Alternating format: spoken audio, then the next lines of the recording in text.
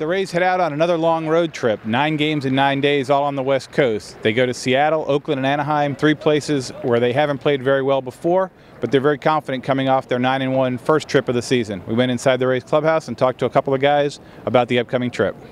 We're here with BJ Upton. You guys are headed out on a long road trip now. Your first one went pretty well, 9 and 1. What was the key to that road trip? Um, you know, just keeping the same attitude, uh, you know, regardless of where we are. Um, you know, we want to get off to a good start, you know, whether uh, on the road or at home. So, uh, you know, going on this road trip, you know, we'll, we'll keep the same attitude and, and uh, you know, hope things go as well as they did for the, on the first one. Obviously, this is all on the West Coast. You guys in the past haven't played well out there. Um, any secrets for you as far as getting used to the time zone? A lot of, lot of uh, cappuccino, a lot of espresso. What do you do? Just, just ride it out. Get as much rest as you can. Uh, you know, it's tough, you know, for your body to adjust to that time. So, um, you know, like I said, just get a lot of rest and uh, hopefully uh, you get used to it sooner than later. Obviously, the Rays are heading out on a long road trip. Navi, what was the key to the last road trip? Nine and one couldn't have gone better. Was there anything special you guys did to make it work?